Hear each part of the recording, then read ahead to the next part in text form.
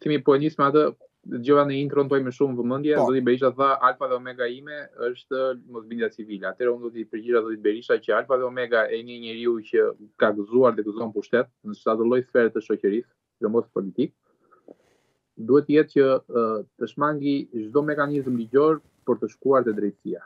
Jo vetëm T'i ndjeki mekanizmat ligjorë, por dhe t'i shmangi qoftë se ka mundësi për t'u përballur me drejtësinë. Kjo duhet të jetë alfa dhe omega.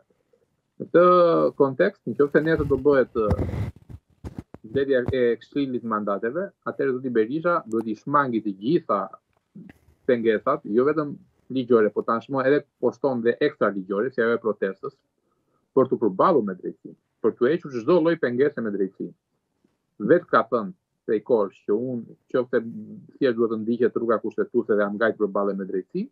Ndërkohë, nesër skenari është Thimi që do tentohet të mos lejohet mbajtja e komisionit të heqjes mandatit, të shqyrtimit të heqjes së mandatit, e, e, e mandatit të imunitetit të zotit Berisha, me ndonjë tentativë për protestë të dhunshme, e cila nuk do lejojë që të ketë normat e ruajtjes së integritetit të deputetëve, normat bazike që ka garda, dhe të shtyhet për një herë tjetër të shtyhet të shtyhet e kështu do të tentohet gjithmonë të shtyhet nëpërmjet pra mekanizmi është tashmë nuk është më pengesa ligjore që nuk e lejon zotin Berisha, por tani do krijojë një mekanizëm artificial që do jetë dhuna, do tentojë me dhunë mos lejojë mbledhjen e, kom, e komisionit të mandateve. Kjo është pra që ajo e kuptoj. Projektimi i tyre nesër.